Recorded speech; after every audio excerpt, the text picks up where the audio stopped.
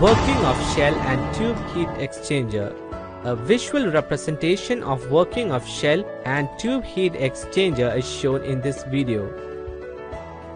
A shell and tube heat exchanger consists of a number of parallel tubes, ends of which are fixed in the tube sheets and the entire tube bundle is enclosed in a close-fitting cylindrical shell.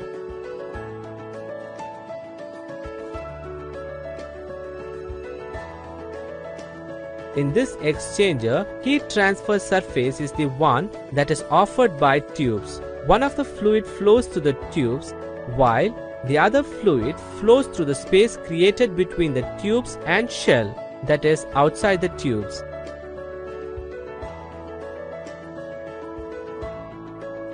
These fluids are in thermal contact by a physically separated by a metal wall of the tubes. Heat flows through the metal wall of the tubes from the hot fluid to the cold fluid.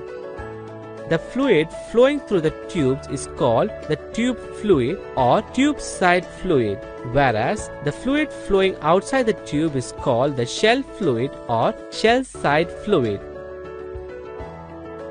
Tube side fluid in, shell side fluid in, tube bundle, shell, baffles, tube sheet, shell side fluid out, tube side fluid out.